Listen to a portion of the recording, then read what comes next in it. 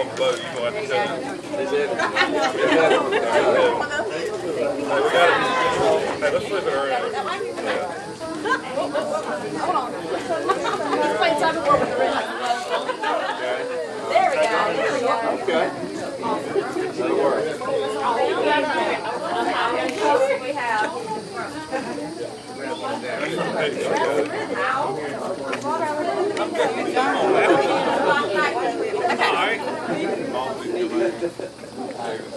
Okay, we have a lot of people that are wanting to, to get pictures, so if we cut the ribbon and if you guys could just hold your smile so that we could switch out cameras and phones and all that for a second and then and then we'll be done. So um, Commissioner Evans, would you like to